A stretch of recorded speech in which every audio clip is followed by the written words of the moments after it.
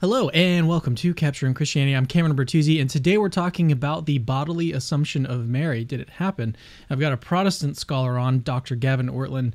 He's coming on the channel to uh, discuss this in a little bit of detail here, and it's it's going to be a, a pretty fun show today, actually. And before we get started, Gavin, I wanted to actually just kind of update the audience and update you as well, because we we could have talked about this before the show started, but it just didn't come up. But I, I very close. I was very close to becoming Catholic very recently, and uh, I, I kind of put the brakes on that just because I think that what I need to do in, intellectually is just to just do more work. Like I haven't even really given orthodoxy the time of day. I haven't even looked into these other types of objections that Protestants give from like the bodily assumption of Mary. So I, I, just need to do more study on my own. I think that's a, a, a much safer way of doing it, even though I feel it's I get this sort of sensation or like a feel or like a you know it's almost like a calling toward the Catholic Church. That's what I've been experiencing lately. But um, I also realize that that can be kind of dangerous to like just go off of feelings and experiences and stuff. And so I'm trying to uh, to do my best to be careful here. So I just wanted to give the audience a, a little bit of an update here that I'm basically where I was and where I have been uh, as of late is where I've just kind of confused about the whole situation, but I still consider myself Protestant, I would say. And so that's kind of where I am. Do you have any thoughts on that before we get into the, the bodily assumption?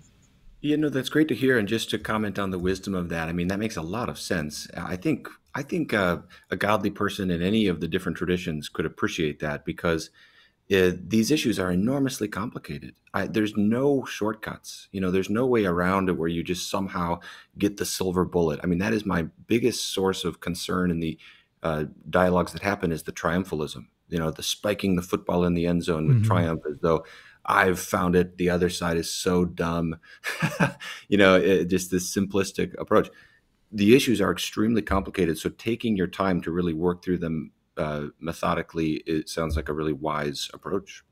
yeah, and I think I, I think it's everyone kind of deserves it too. Like not just the audience, but my family. Like they deserve to for me to slow down and, and take my time with it and really look into uh, you know as many of these issues as I can. So I think that's uh, and a part of that is is coming from your advice too. I mean, you and I have talked off air and stuff, and so that's it's I think it's really wise to to do that. And and also, I mean, just more broadly, I think that philosophy is best done slowly, and so theology is probably the same way. Like the do your theology slowly, as opposed to just like hearing one lecture, or hearing something, or, or finding some piece of evidence, and you're like, okay, that's it, that's all I need for you know this entire theological view. It's like, no, it's probably better to to slow down and really thoughtfully consider the you know the, the bigger picture. So anyways so with that initial item out of the way let's turn now to uh, did you have something else that you wanted to add there? Just to quickly to say that it, it is a happy feeling too. When you do make a, a sort of more settled decision and you really feel settled and and a peace in your conscience that's a great mm-hmm. feeling. As opposed to what i have seen a lot of people do they'll make a change and then a year or two down the road or five years down the road even they'll have this kind of nagging feeling of like I'm, I went too fast. I didn't think mm-hmm. I didn't mm-hmm. look down the road enough. But it's a wonderful thing to feel a settled conviction and peace in your conscience about where you end up. Okay.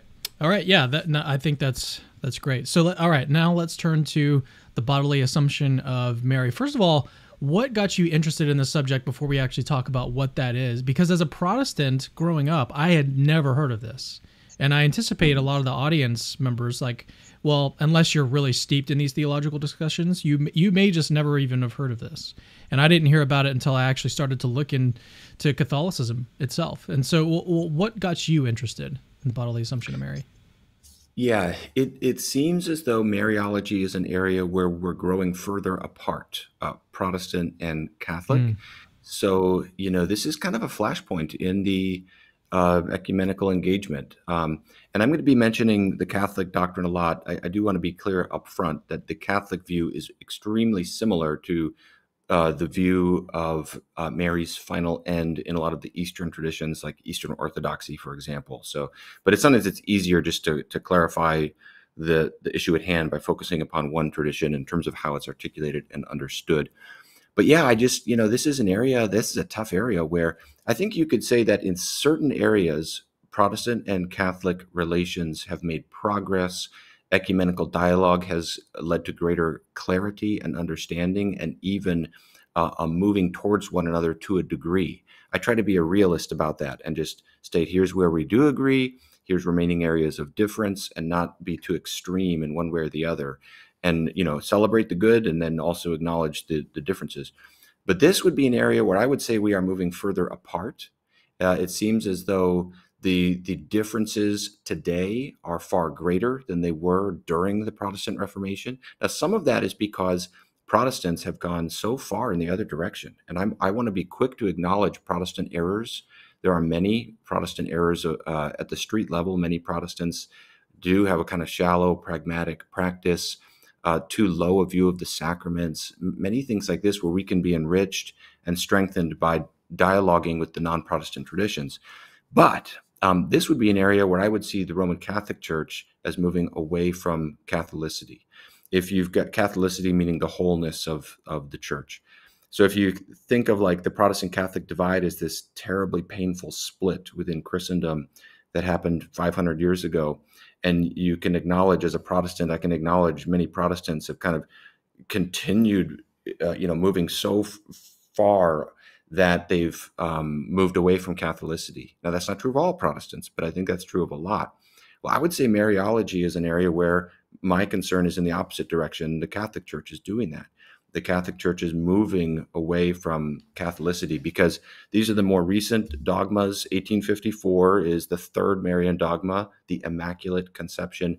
1950, not long ago, you know, a couple generations ago, is um, the timing for the bodily assumption of Mary. So that's recent. And so it raises these questions of trajectory, um, and it just furthers the divide between us for this to be declared as an infallible dogma obligatory upon Christians to believe.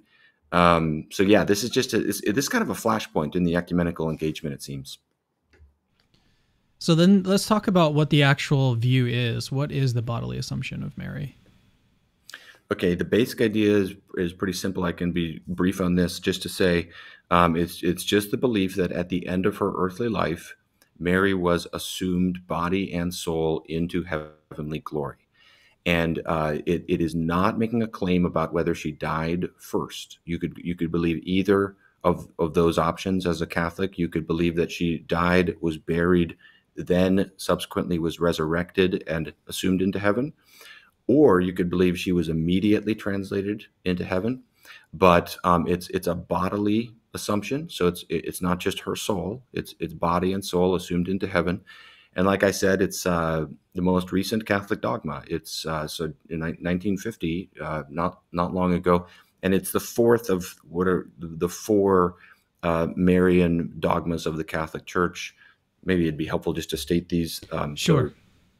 So, uh, the the first is the divine motherhood of Mary. That Mary is the mother of God. The second is the perpetual virginity of Mary, that uh, Mary remained a virgin all throughout her life. Then immaculate conception, Mary is born free from the stain of original sin.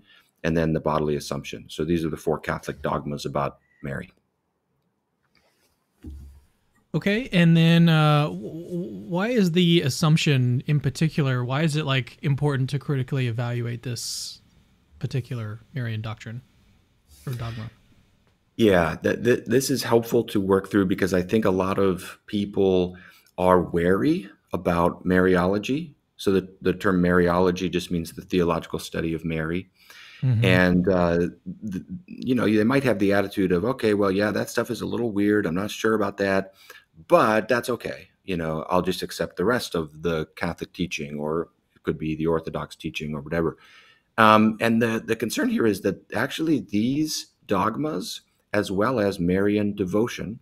So this would include, say, prayers to Mary, for example, are obligatory upon Catholic Christians. Pope Francis made that clear just a few years ago.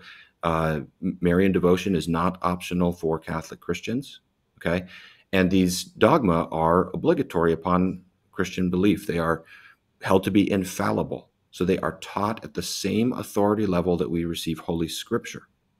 So um, that means, and you can read through when Pius XII, who was the Pope in 1950, uh, pronounced the bodily assumption of Mary, there are these warnings that uh, for those who uh, uh, willfully reject it. They have fallen away from the faith. Uh, if anyone dares to oppose it, uh, they will merit the wrath of God and the wrath of the apostles Peter and Paul. Now, there's a little bit of wiggle room there in terms of how you interpret that, but the statements are also, I mean, people will try to say, well, it has to be a, like a, a willful, like you have to know it's true in your heart and still reject it. I don't know. I mean, it, it I think the statements are, they kind of speak for themselves, but however you try to qualify it, it's clear that these are not an option. Like you can't say, well, I'm going to become Catholic, but just reject the Marian stuff. You know, these are a part of the infallible and thereby irreformable teaching of the Catholic Church. Um, and when you when you listen to uh, you know Catholic like Cardinal Newman, okay, John Henry Newman has written a lot about Mariology. You listen to them, you you you see that Mariology is kind of interwoven with the whole Catholic system uh, the the the piety as well as the doctrine. This is not a sidebar. This is not optional. This is kind of and, and and therefore I would say for everyone who's considering the kinds of questions that you know you and I have talked about and others who so many who are wrestling with these things, it's completely appropriate to give critical analysis to Mariology and not just say, well, that's you know put that to the side and don't think about it. It's totally appropriate to say hey, we need to, I need to make a decision about this. Do I believe that this is true or not? And a lot of that will depend upon one's view of authority, you know, what you believe about the papacy. But also, I, I think it's totally appropriate to just look at the evidence and say, hey, does, does this belief seem reasonable? Um, because my concern as a Protestant is uh, honestly a deep offense that this would be declared as an infallible dogma when it has such abysmal lack of biblical and historical support. So, it, is there anything in particular about the bodily assumption that is unique to that dogma? That, so, the question is basically: Is this particular Marian dogma is this like the one that has the least evidence for it, or is it, did we are we just focusing on this because it's just one of them and we just picked one? Yeah, that, it, I would say it does have the the least. I would say what I've done is I've tried to just very carefully work through the patristic evidence, so the evidence from the church fathers, and um, I could sketch out my basic proposal, uh, even though it will offend some Protestants too. So I'll, I'll, it'll offend both sides. But uh, the first Catholic dogma need not be a point of division between us. Lots of Protestants stumble over calling Mary the Mother of God, but that is something all Christians can affirm Karl Barth, who was a Protestant theologian, even said this understood is understood properly. Understood properly. This is he said this is a litmus test of uh, do you understand the incarnation? Because and the reason for that is simple. Jesus is God. Mary is the mother of Jesus. Therefore, Mary is the mother of God. And that's that goes back to the Council of Ephesus in 431, the Theotokos, Mary the the the uh, God bearer uh, that need not be a point of division for us. And if Protestants really struggle with that, I would just encourage them to consider that sympathetically. That that need not be freighted with all the later developments. Originally, that idea was a Christological affirmation. It's trying to say something about the incarnation. Um, the second through fourth Marian dogmas, I think, are all post-apostolic accretions. Uh, you can see, but I think when you go forward, so two, three, four, the evidence for them gets worse and worse. Um, I don't know. I mean, some people would say the Immaculate Conception is is the most difficult because there are so many countervailing uh, points of evidence for that. In Chrysostom, in Basil, and many others who will speak of Mary as having sinned.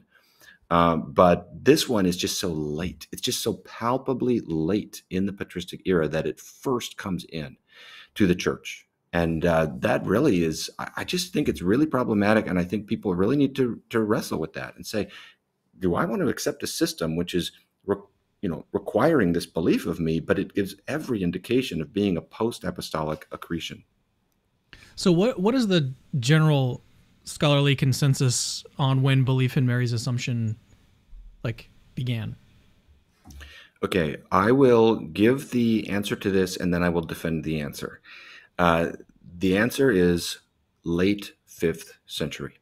Okay, between 450 and 550. So late fifth century, early hmm. sixth mm. century. That rough period of time is when into the Christian church this idea starts to come. And even there, it is extremely diverse. So it's not just the bodily assumption that starts coming up into the historical record at that point. There's two alternative ideas that are also prominent. And it takes about that period of time to settle and land upon one of them. And then I've all I'm writing a book right now on on on this and other things. I just finished the chapter on the assumption of Mary and other aspects of Mariology. So I'm working through this. So um, you know, one of the things I talk about in the book is that even there, uh, it, it, continues to be questioned by some. For a long period of time, there's a ninth century theologian named Paschasius Radbertus, great medieval name. He he he preached in his Dormition homilies an assumption of Mary's soul only, and that halted the uh, uh, belief in the bodily assumption for about two centuries. And everything that I'm saying right now is consistent with Catholic scholars. So let me give some examples of that. Um, uh, older scholars, uh, historians of dogma, and Mariologists like Juniper Carol, uh, Ludwig Ott, Walter Burghardt. These are older Catholic scholars. They're excellent scholars. They're saying that that's their proposal, late fifth century. More recent scholars, uh, Brian Daley, who is a, a, fantastic Roman Catholic scholar uh, working in this area, and others uh, that's consistent with his proposal. And then Stephen Shoemaker is another kind of leading scholar on this. He's not Catholic himself, but he's very fair to Catholics, and that's consistent with his proposal as well. So um, I'm trying to be very clear on this because I do receive sometimes very uncharitable responses uh, in comments and other venues that are trying to diminish my, or, you know, proposing I'm I'm skewing things or something like that. It really isn't. I'm being very fair to what the Catholic scholars are saying about this, and that is why the leading Catholic theologians uh, in this area don't argue for this as going back through oral tradition to the apostles. They argue for it more as something the Holy Spirit sort of gradually taught the church, something like this. And it's kind of it's in the apostolic deposit, but kind of in this oblique typological way, and then it more consciously comes into the church's knowledge as you get that. That's how they tend to argue. The one thing I do want to say is that it is tricky, and people get confused about this because there is interest in Mary's end that comes up big time in the fourth century. And there's a lot of speculation that she was a martyr. And there are two heterodox texts that reference an assumption of Mary that are earlier. Uh, one of them is a set of texts called the Six Book Dormition Apocryphon, and that's associated with a heretical group that is condemned by Epiphanius in the late fourth century. The heretical group is called the Collyridians. And then the other text is a Gnostic legend um, called the Book of Mary's Repose that many people will date to the third century. So uh, these are, I mean, the Book of Mary's Repose is really bad. I mean, it will offend all of us in terms of how scandalous it is um, on several levels. And, you know, maybe we can come back and talk about that text more because that is the earliest attestation and it's Gnostic. But um, so there's those two texts that are condemned by the church. But in terms of when this sort of starts to shape as a belief within the church, that is the time frame. 450 to 550, and that is consistent with the best of the scholarship, including the best of Catholic scholarship working in this area. So, what did the actual like the early church fathers and everything? What did they actually say about Mary's fate, or, or did or was it even talked about? Yeah, yeah, this is interesting. They talked a lot about it. Um, Tertullian and Augustine. Tertullian is the first person I can find who talked about Mary dying. Uh, Augustine has three references to Mary's death that I can locate, and never any. And they just mention the the death. They don't also mention some some kind of belief in, a, in an assumption. That's correct. There's nothing of an, an assumption in in any Orthodox Christian writer. Okay, prior to that 450 to my awareness. I mean, you always want to be open to sure. new evidence coming in, but when everybody else is saying the same thing, it seems pretty. So you've got so you got Tertullian, you got Augustine talking about Mary's dying. Another thing that's interesting is you have a lot of people listing bodily assumptions to heaven. I have located in my research, with the help of a friend, ten different authors. Well, nine plus the Apostolic Constitutions, which is a compilation of texts so 10 different texts, I suppose, but several of these authors have multiple instances. So uh, Augustine, Chrysostom, and Tertullian each have three times where they'll do this. And then these other authors, Jerome, Ambrose, Methodius, Irenaeus. Uh, I think there's one other I'm forgetting, but um, it, They'll it make a to, list of of assumptions into heaven. Am I yes, hearing this correctly? Now, okay, that is correct. Now, not everyone will say, "Here's a list," and it's exhaustive. You know, so mm-hmm. you want to be careful because I'm always wanting to be alert to respond to this criticism of an argument from silence. You know, but the it still is, seems pretty significant. That's that's one of the big ones that you'd want to mention. Totally. I mean, if Mary is the most important creature, if Mary played the, the role in the early in the early church that Mary plays in the contemporary Catholic Church, and you've got 10 different times people list those bodily assumed to heaven, it's pretty surprising that they just never happen to mention, oh, by the way, it happened to the Theotokos too, you know? Um, the, it's always Enoch and Elijah. The only two other people that would come in would be Moses, where I think it's Augustine who is at a time where he's opposing somebody out there proposed Moses was assumed to heaven and he's opposing that. And then there's some uh, uh, text. I can't remember what the text is, but it proposes that Habakkuk was like transported to Babylon, something like this. And so he's opposing that idea. But in terms of the people assumed to heaven, it's always Enoch and Elijah. And they'll, you know, they'll, so like people will be talking about the nature of the resurrection body, and they'll say, but, you know, we know this is true because of those who were assumed to heaven, AKA Enoch and Elijah. And so that's pretty, um, you know, I actually think arguments from silence can have plausibility value to the extent where you'd expect the source material not to be silent on something. Mm-hmm. The metaphor I use in the book is suppose that you heard on the radio there was a school shooting and you're really worried what if it's the school my kids go to and you drive onto campus and you talk to 10 different people and you say was there a school shooting here and they all say i didn't hear anything about that well that will that will probably relieve you and the degree of plausibility that that will have will depend upon how big the campus is and how many people are there and other factors like that. If it's a small campus and 10 people are all saying well i didn't hear anything about this you know at a certain point that starts to become less and less plausible that it really would have happened at that school. Similarly if, the more people you have talking about bodily assumptions to heaven but never mentioning mary it starts to raise a plausibility concern. But here's the last thing I want to mention, and this is where it, it kind of drives the nail in. It, it, becomes more conclusive. Toward the end of the fourth century, as there is uh, this spiraling up interest in martyrs and virgins, uh, there's a great interest in Mary's final fate. People are are wondering, and there's theories out there. Maybe you know, as I mentioned, some of these Gnostic legends that are talking about uh, Mary's being assumed to heaven. There's so there's two by this point.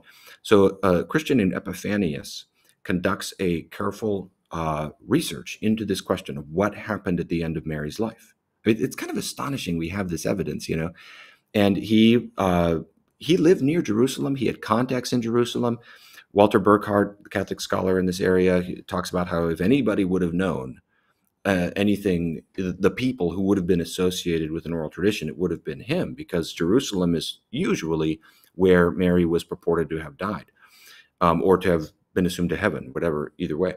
And Epiphanius's conclusion is no one knows. No one knows her end. He says uh, maybe she stayed alive. Maybe she just died a normal death, and maybe she was a martyr, but nobody knows. No one knows her end.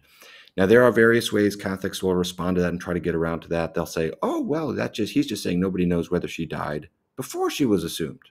Because as I mentioned, the dogma leaves that open, but that's just not what he says. You have to read that into the text. He, he posits her staying alive as an alternative possibility to her death by natural causes or her death by martyrdom and concludes nobody knows. And what that tells us, similar to what a lot of the Catholic scholars will acknowledge, is there isn't some generally known oral tradition.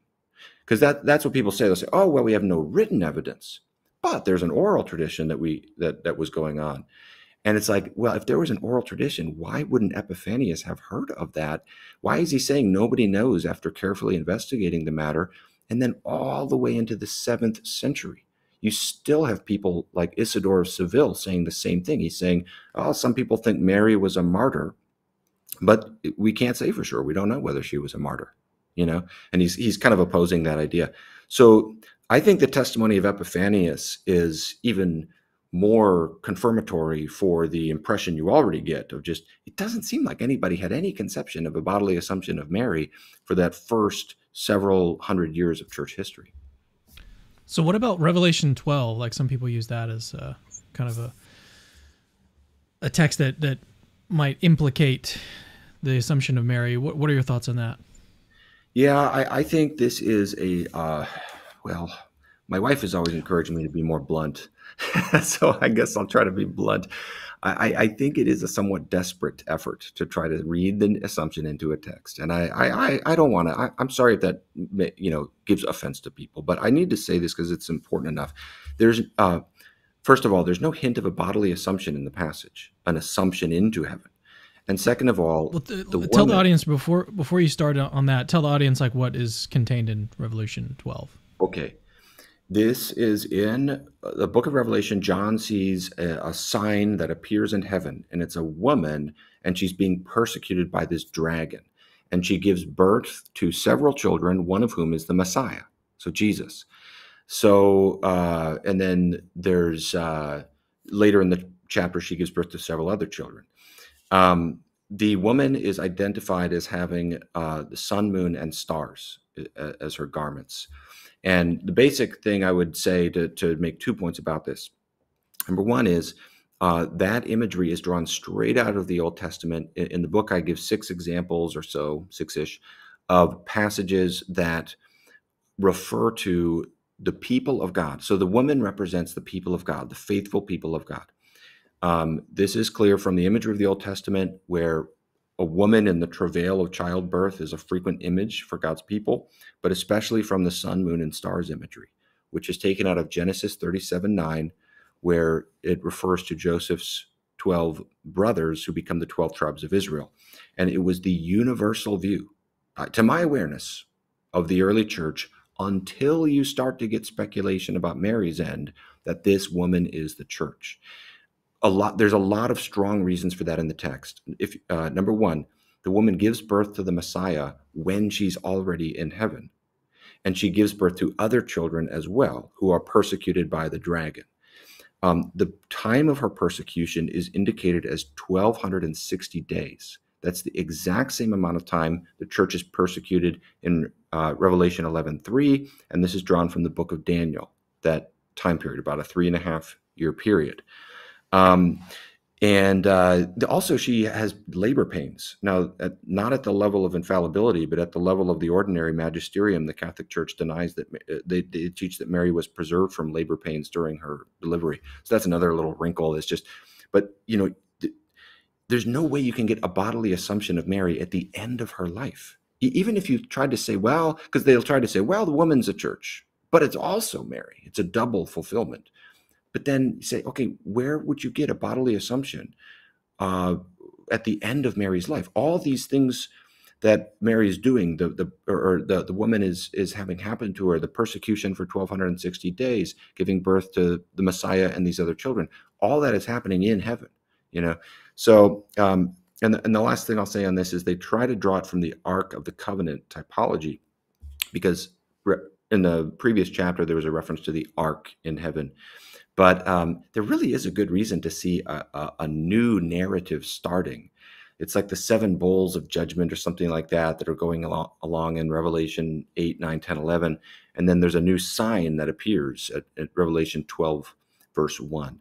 So, uh, you know, I, I, think if people were to try to read through, the, the way I put it is this if, if you took 1,000 people who'd never heard of the bodily assumption of Mary, and you gave them all Revelation 12 and said, read this text, tell us what it means, and they can read the rest of the Bible to cross reference. I don't think anybody would come up with the idea of a bodily assumption of Mary at the end of her life.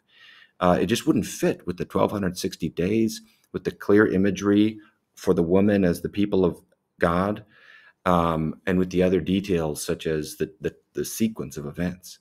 So um, yeah, I think, uh, and, and again, I, I, don't know of anybody who advocated for that interpretation until you start to see interest. I think Epiphanius is the first person who proposed to regard this woman as Mary.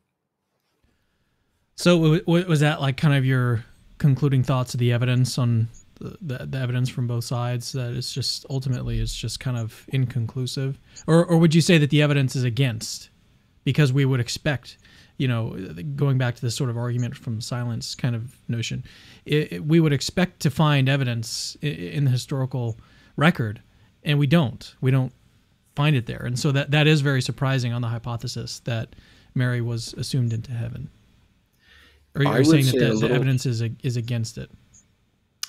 More that um, uh, because of the, some of the things I mentioned, like with Epiphanius, for example, mm-hmm. uh, it, it just looks like there's no awareness of a bodily assumption or anything like that. And if I could just make one more point about that, that might be helpful to further the challenge for those who want to say that this is just an oral tradition that it was preserved in the church and wasn't written down. I think one of the problems is when, I, and I alluded to this earlier, is when the bodily assumption of Mary does come into the picture in that late fifth century time period, it comes into the picture along with two other alternative ideas. One of uh, them is an assumption of Mary's soul only, but her body is buried. And you see that in various of these traditions. The Dormition homily of Jacob of Serug is one.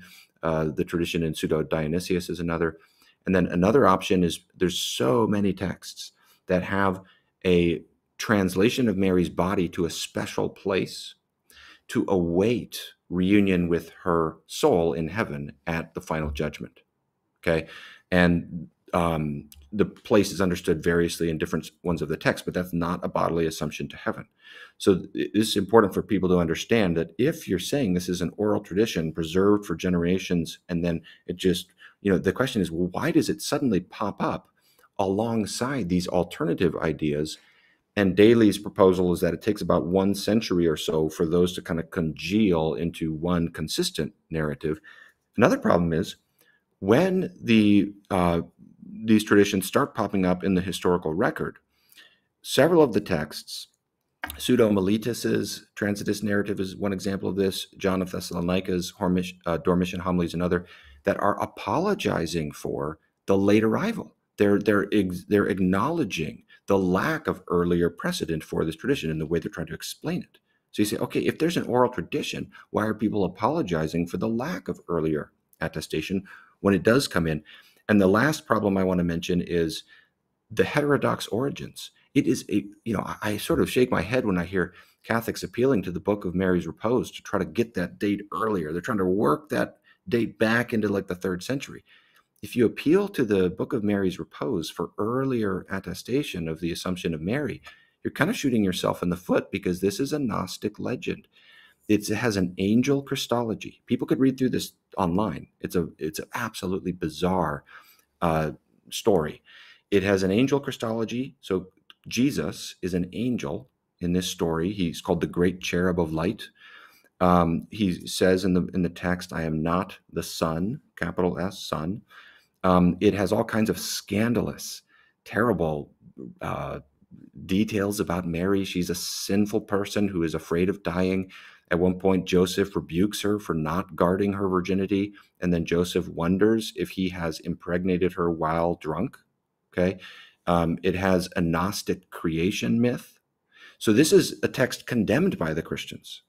And that's why a lot of people think that the Assumption of Mary was an infiltration into the Christian church from heterodox origins, particularly because of the Collyridians in the fourth century, another heretical group that are practicing a, a, Marian devotion, and Epiphanius is opposing them. So when people try to appeal to these earlier texts, that's compounding the problems because it gives credence to the criticism of what many scholars have said, namely the origins of the Assumption of Mary are Gnostic. Um, I, I, don't say that myself because I don't know 100%, but it, it, I can say it looks like that because that's the earliest text that we have. So all of those factors to me would combine to make the conclusion much more, you know, it's a, the thing of you never want to overstate, but you never want to understate. And I would want to state it uh, appropriately by saying I think the evidence is overwhelming against the idea that Mary was assumed.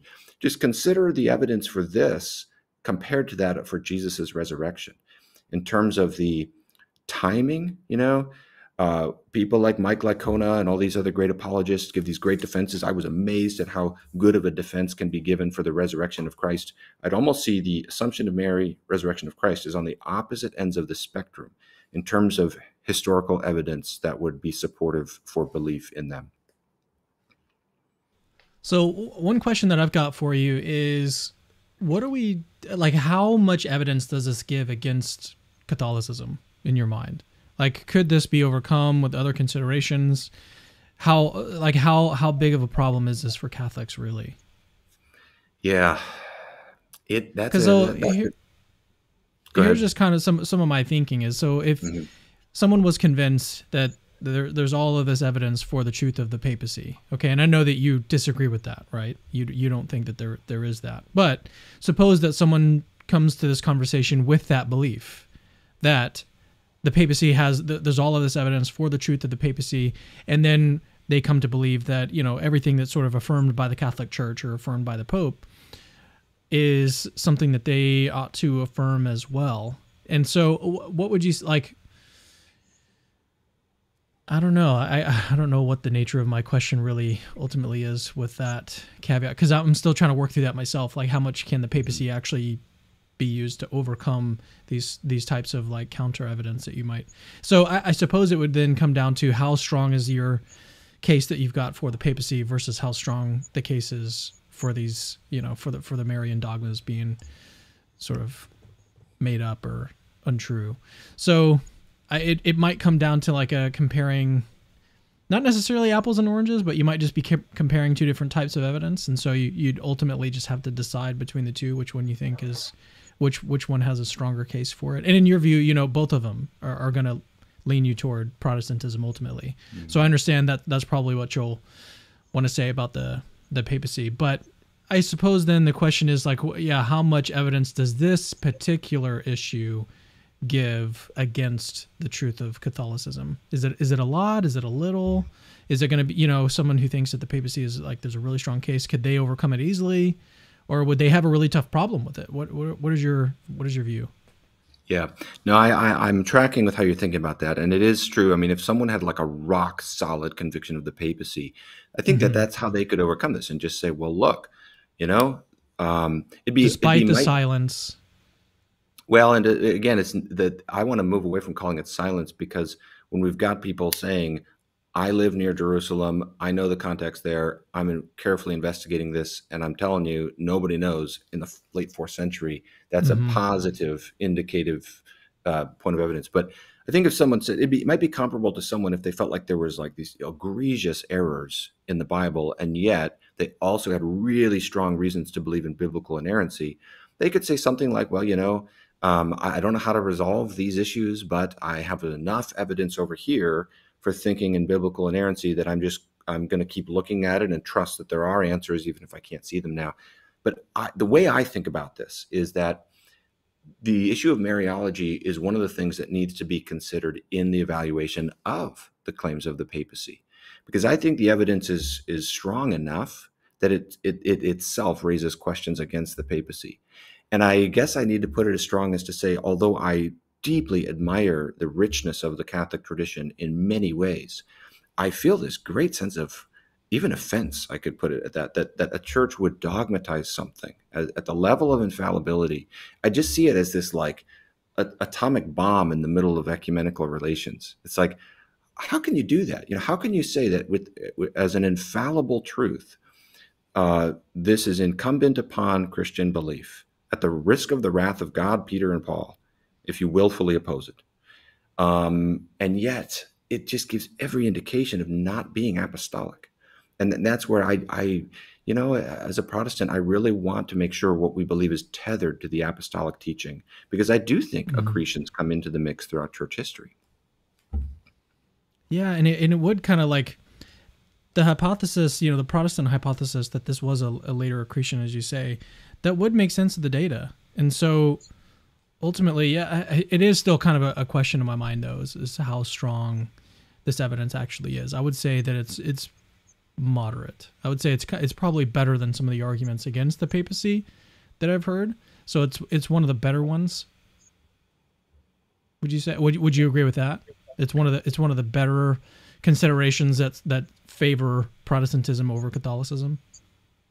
Yeah, it's tough to set the dials exactly right because when we evaluate the strength of an argument, it depends on so many variable factors. You know, yeah. um, I can just give my own personal testimony without you know trying to have the desire of neither offending people unnecessarily nor refraining from speaking my conscience i would say for me personally the evident the, the issue of mariology is decisive and overwhelming against the catholic claims and those of, of eastern orthodoxy for example as well and uh, the reason is I, I just think it's a reasonable approach to when you've got overwhelming historical evidence uh, and I would use that adjective. I, I, try not to overstate things, but at the same time, you want to state it clearly when it is strong. I would say the same thing for the veneration of images, Nicaea two. I think the evidence is overwhelming against that being apostolic, and that's the next chapter in the book I'm going to write. That's I'm going to start writing that as soon as I can. Although my wife and I are having a baby on Monday, so I may be out of commission so for a little while here.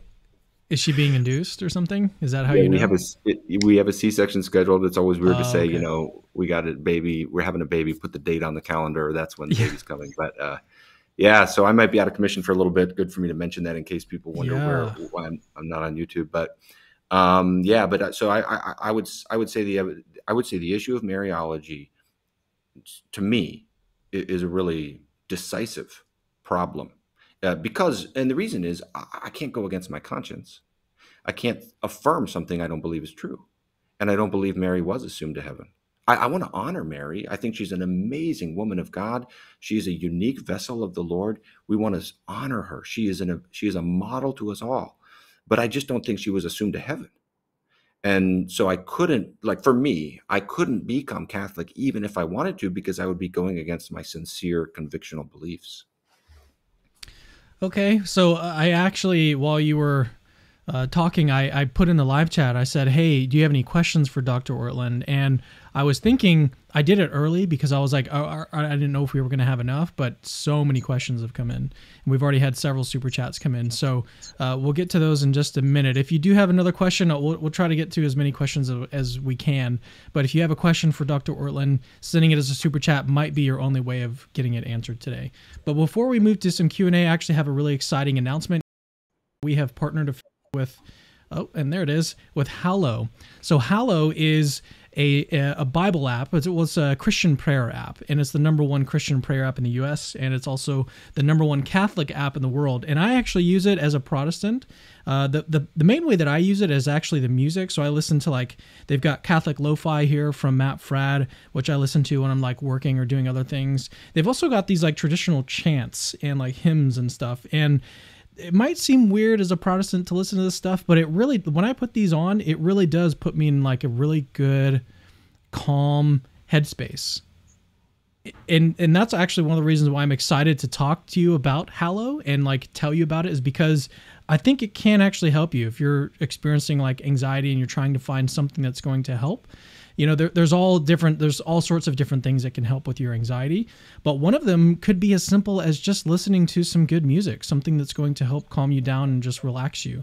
And that's where i think hallow might come in for you it is um, apart from like you know the devotional stuff that they've got and they've even have uh, on, on the app here that you can also do sleep with uh, you know jonathan roumie from the chosen They've got all sorts of things here to help you sleep and fall asleep. But they, uh, you know, they've got the devotions and the prayers, and they've got thousands and thousands of those. But the, the music itself is really what I've been utilizing a whole lot on this app. But I want you to go check it out for yourself. You can go to hallow.com slash capturing Christianity. You can get your first three months free as a sort of free trial. So you can kind of check out all the different uh, meditations and prayers and stuff. And as I said, it, it really can. I think it, it, you know, it's not. There is no sort of silver bullet when it comes to anxiety or depression or, or any kind of mental health issue. But I think that if you have certain things that are that are kind of in your corner and that are there to help you, this could be one of those things. And it, I, I really, true, honestly believe that because I've seen it already work in, in my own life, even in like stressful situations, I would just put on this app and I would start to listen to stuff and I would immediately start to feel calmer. And so I want you to go check it out. Hallow. You can search search for it. You can find it in the Apple excuse me, the, the Apple Play Store, the Google Play Store. You can find it everywhere. So, all right, let's get into some Q and A with Dr. Ortlund on the Assumption of Mary. As I mentioned, we've got a lot of super chats that have come in already, so we we may only have time to get to those today. How much time do you have, Gavin? I don't have a ton, but I definitely want to answer some questions. So I'll try to answer as, as succinctly as I can, and we'll just go as, as long as we can. Okay, great. Yeah, we'll just uh, we'll move through these as quickly as we can. All right, from Mango Bango. Hi, Dr. Gavin. I believe you're incorrect. You said that the Assumption of Mary was a late teaching around the 5th century, yet the 2nd century Vienna fragment speaks about the bodily Assumption. What are your thoughts? Yeah, people will often try to appeal to certain fragments. Uh, more commonly, a set of Syriac, Syriac fragments. Sometimes they'll, I think, confusedly refer to the Book of Mary's Repose as well as supportive evidence um, that ex- extend back earlier. Um, those claims just have not been received in the scholarship. That's not really representative of mainstream positions about this, including among Catholic scholars.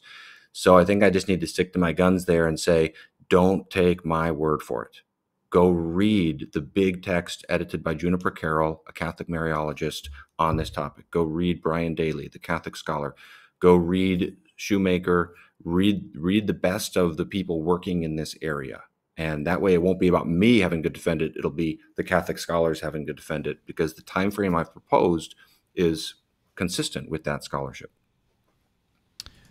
Yeah, as you said, that was that was very succinct. So, all right, Phoenix Baker, what do you think about Shoemaker changing his mind and saying it's very plausible that Assumption texts are from second century?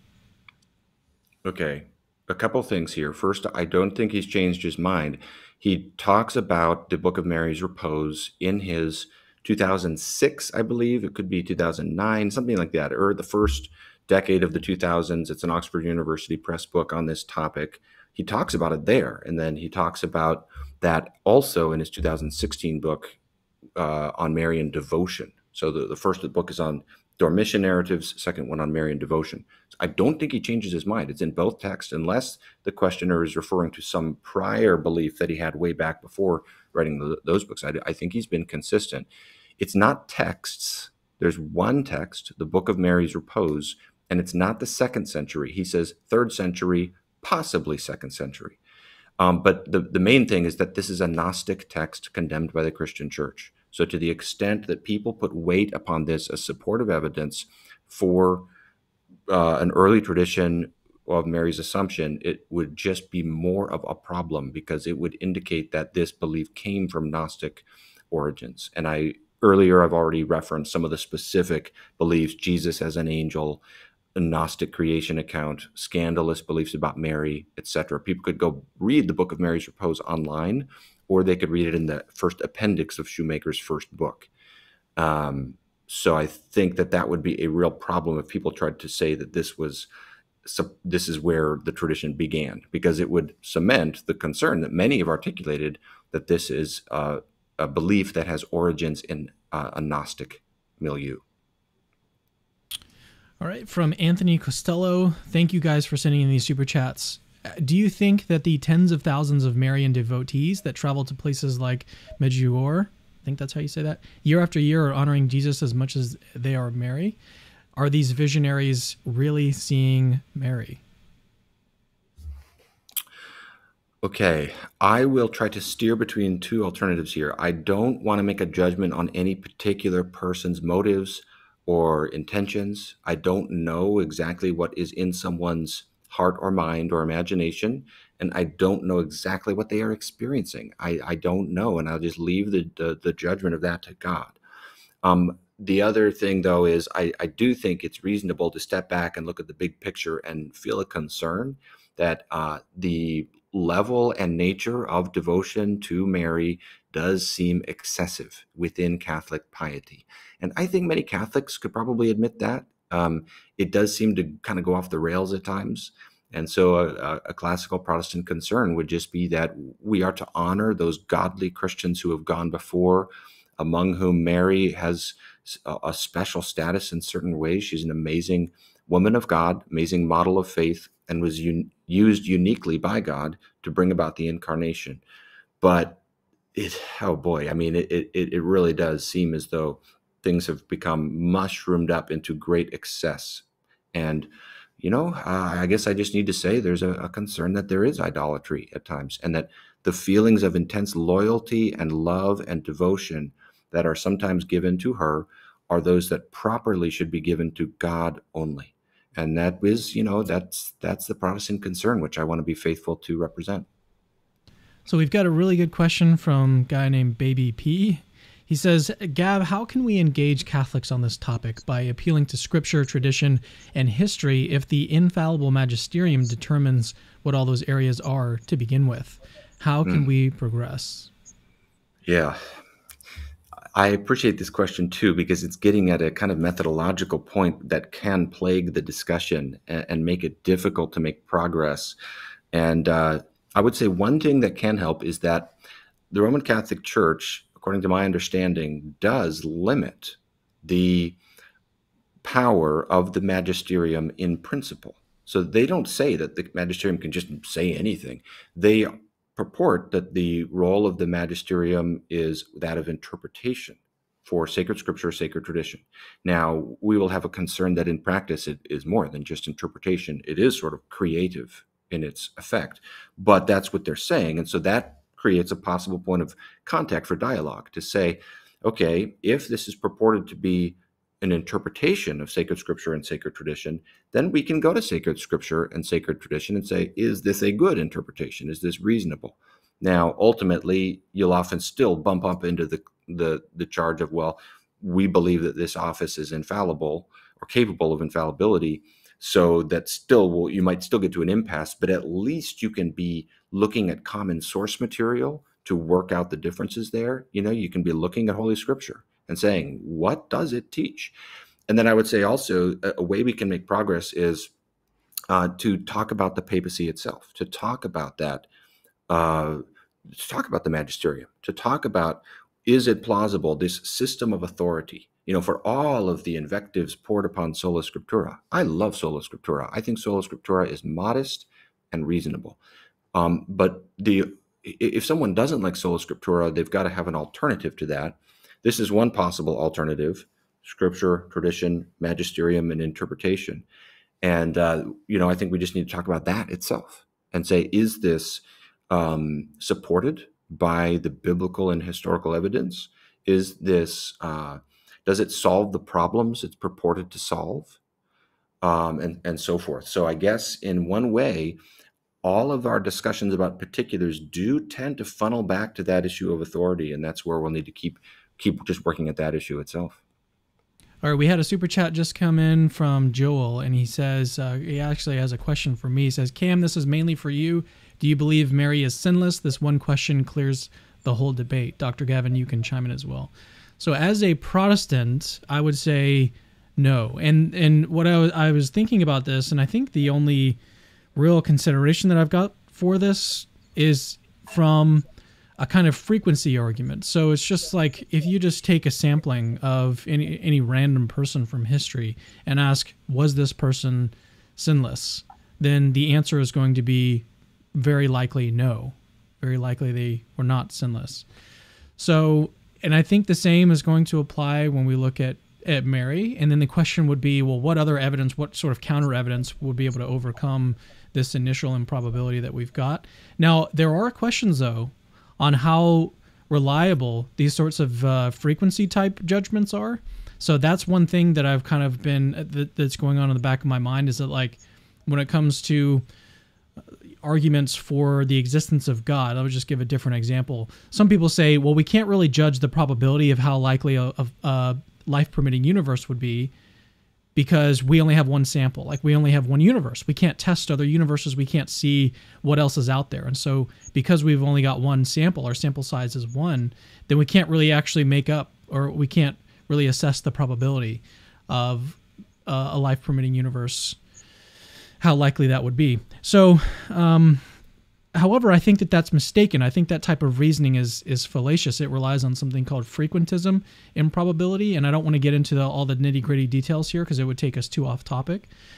But I just want to say that uh, I'm I'm a little bit wary of these sort of frequency type arguments to to bolster probabilities. So when I and this is what mine is based on. It's based on like a frequency type argument. So it just seems really unlikely, given the the whole number of people, uh, the given everyone who has existed and how you know ninety nine point nine nine nine nine nine nine nine percent of them have been uh, have had sin.